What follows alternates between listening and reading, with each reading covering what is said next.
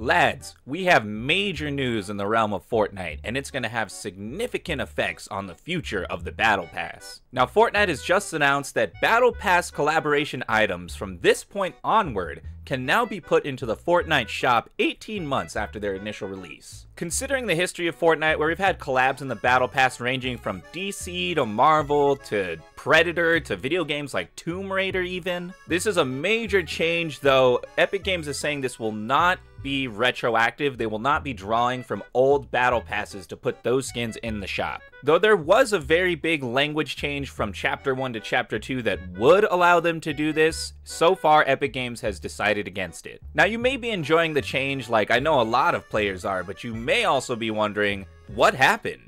What made Epic Games make this decision? Well, there are definitely some recent events that have changed the profitability potential of Fortnite. Most notable is that this wrecked season is an all-time low for players. So even though Fortnite already has the cycle of the regular battle pass, leading into a festival or Lego pass, then leading into a collaborative battle pass, generally taking about $50 every season to acquire them all. It seems that this double dipping and triple dipping on the Battle Pass system hasn't really benefited them, since they've balanced the game in a way that most players don't seem to enjoy. But that's only one factor. If you're watching this video on the day it was uploaded, it was only yesterday that Epic Games made a major malfunction with the item shop. When they accidentally released the Paradigm back into the item shop for the first time since Chapter 1. One of the most notable skins of the 7, who was actually reworked in a battle pass to be played by Brie Larson. Now, they were considering taking this skin away from people and just refunding their V-Bucks, but I'm happy to say that if you managed to buy this skin before they took it out of the game, you will keep it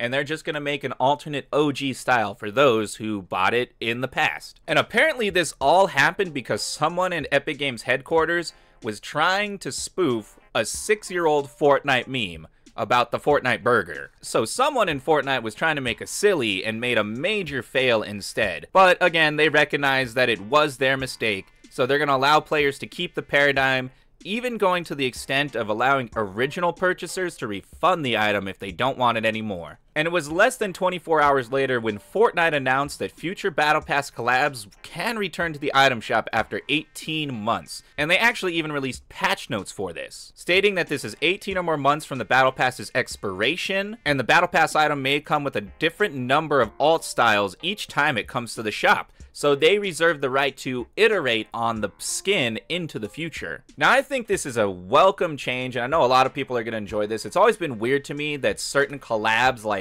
Tomb Raider, Predator, a bunch of DC and Marvel skins are just stuck in the past of Fortnite and newer players don't have a chance to get their hands on these. But this change is not exclusive to the collab skins, actually.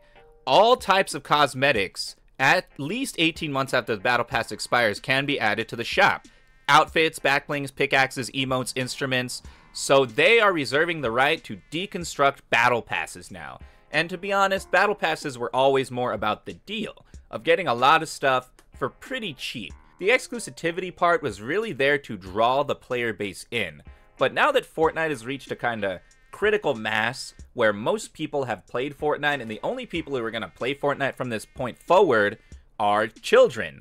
Children who have never played the game before. I think this is a really welcome change, but I don't expect to see regular Battle Pass skins in the shop really ever because most of the Battle Pass skins are tied to the storyline of the season. And Fortnite of all games is notorious for just moving that ball forward. They don't look back, ladies and gentlemen. Maybe they'll flash back, but they don't look back. This is an interesting aspect though. If a Battle Pass item in the shop with alt styles included, players have the option to purchase those included Battle Pass styles and the base item if they don't have it.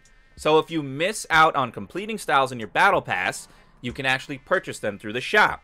Pretty cool for the completionists if you don't have the time to level up in a particular season. And this will even extend to items in the bonus and quest rewards tab. Wow, so everything top to bottom in the battle pass will be resellable from now on. Again, technically the language has been like that since the beginning of chapter 2.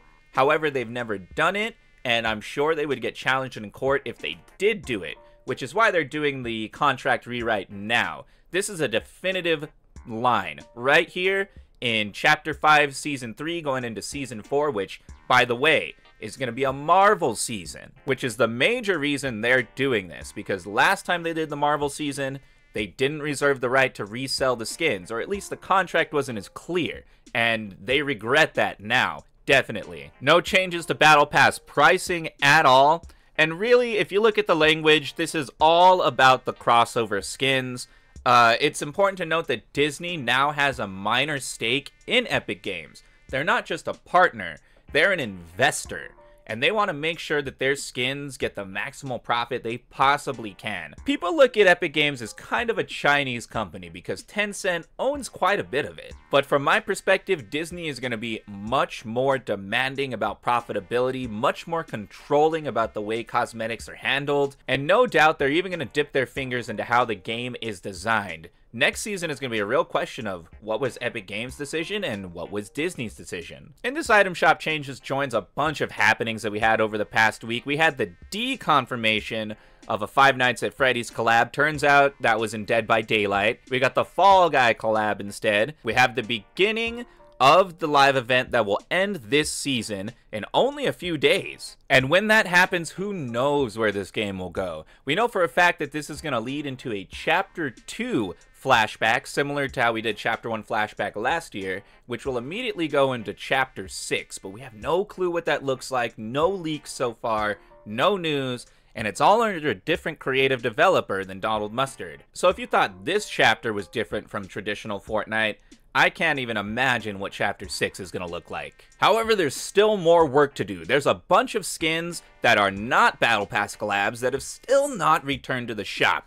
We have God of War, we have the Borderlands skin, and so many others. So if you want to see a particular skin return to the shop, be sure to like, subscribe, and comment down below what is the collab skin you want the most in Fortnite history. What skins are you hoping make it into the next Marvel Battle Pass? And if you're an OG player, are you a fan of this cosmetic change?